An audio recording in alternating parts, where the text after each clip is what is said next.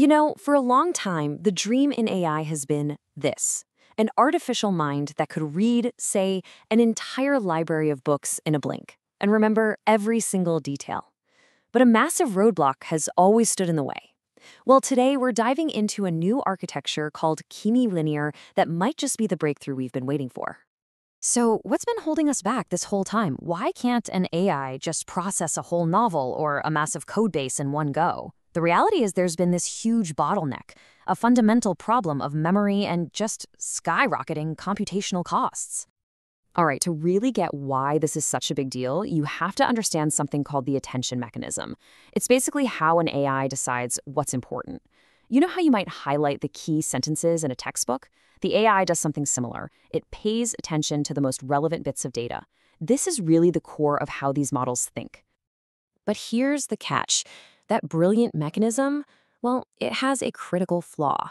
Because as the amount of information you feed it grows, it creates this massive, massive processing power bottleneck. This slide really lays it out perfectly. On the left, with a short piece of text, like a paragraph, the standard full attention works great. It's fast, it's manageable. But look at the right side. When that input grows to the size of a long document, the whole thing just explodes the system gets painfully slow, wildly expensive, and it just eats up memory like there's no tomorrow. So the technical villain here is something called the KV cache.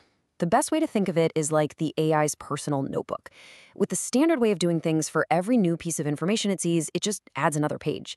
You can see the problem, right? For long documents, that notebook becomes impossibly heavy, and it gets incredibly slow to find anything useful in it. So, how do you fix a memory problem like that? Well, you don't just add more memory, you invent a smarter kind of memory. And that brings us to the core innovation we're talking about today, Kimi Delta Attention, or KDA for short. So what exactly is Kimi Delta Attention? Well, instead of just keeping every single note forever, KDA uses this really precise gating mechanism. It intelligently decides what information to keep, and maybe even more importantly, what to forget. This allows it to use a fixed size smart notebook that, get this, never grows out of control. The process itself is just brilliant in its simplicity. First, it takes in the information. Then, through this gating step, it decides what's actually important. Then, and this is the crucial part, it precisely forgets the irrelevant stuff before it updates its compact, fixed-sized memory. It's kind of like a smart student who constantly refines and summarizes their notes instead of just adding more and more pages. Okay, that all sounds great in theory, right? But the numbers, the numbers tell the real story. And let me tell you, the performance data here is seriously impressive. Take a look at this chart. These are results from the RUL benchmark, which is a really tough test for these long context models. See Kimi-Linear, that bar on the far right? It's scoring an 84.3, clearly outperforming the standard full attention model. So it's not just more efficient, it's actually better at the task. And check this out. This number right here is the real showstopper for speed.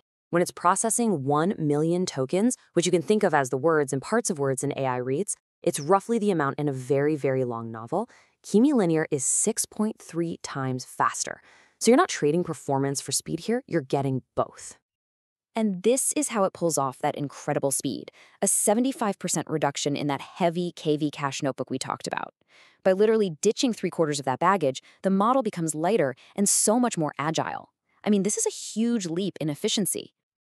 And just to prove Kimi-Linear isn't a one-trick pony, look at this table. You might think, okay, these efficiency gains only matter for huge documents. But check out this data.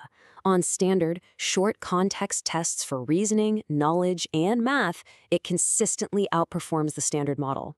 This thing is an all-around upgrade. So how on earth does Kimi-Linear manage to get both top-tier performance and this incredible efficiency? Well, the secret, it's in its hybrid architecture.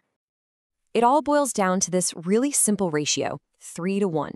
After a ton of experiments, the designers found this was the absolute sweet spot, the perfect mix of different types of layers to get the best blend of speed and power.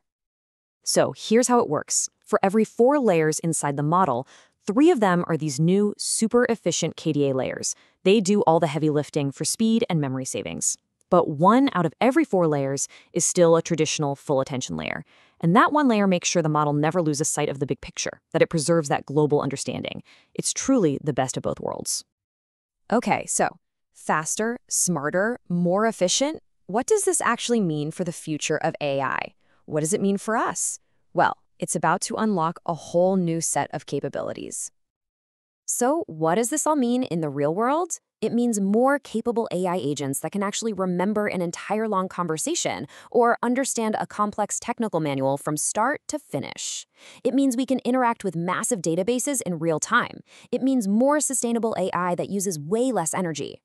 And maybe the most important part, it's designed as a drop-in replacement, which makes it easy to upgrade the AI systems we're already using today. And hey, don't just take my word for it. The researchers say it directly in the report. The goal here is a replacement that offers superior performance and efficiency. It's a bold claim, for sure, but all the data we've just looked at seems to back it up. So all of this leaves us with this final, really exciting thought. For so long, the sheer size of an AI's memory has been this fundamental limit on what we could even attempt to do. Now that that bottleneck is being broken, what becomes possible?